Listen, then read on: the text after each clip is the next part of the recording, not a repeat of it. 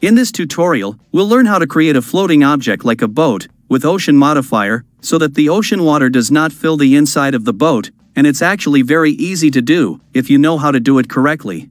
So let's say we have created an ocean like this, and we have also added a simple boat model here, but the boat is filled with the ocean water, so our ultimate goal is to remove this water dynamically, from the inside of the boat. We have created this ocean from a plane, using the ocean modifier like this. Now in order to remove the water from the boat, we need to first create a duplicate copy of the boat, so select the boat, and press Shift D on your keyboard to create this duplicate. Here is our copy of the boat, let's hide the original boat for now, and select this duplicate copy. Then go to the edit mode for this object, and press A on your keyboard to select all the vertices. Now from the mesh menu, we have to select the option called convex hull. It will convert the boat into solid, considering only the outline of the object, the details will be ignored, because we must ignore the details of the boat for our next operation.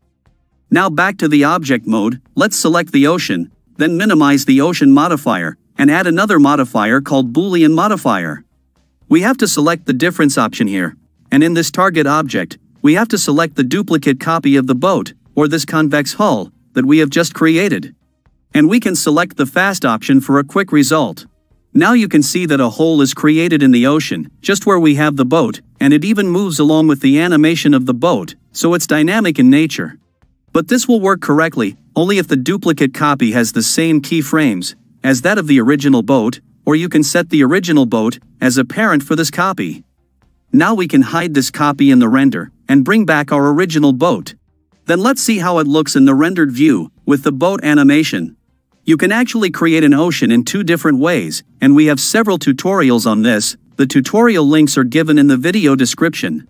And one more important thing to note here is, you need to add this boolean modifier only after the ocean modifier, otherwise it won't work correctly. So please check the order of your modifiers, and keep the ocean modifier before the boolean. So that was our quick guide on how to correctly float a hollow object, like a boat in the ocean, and I hope you like this tutorial. Thanks for watching, and don't forget to subscribe to this channel.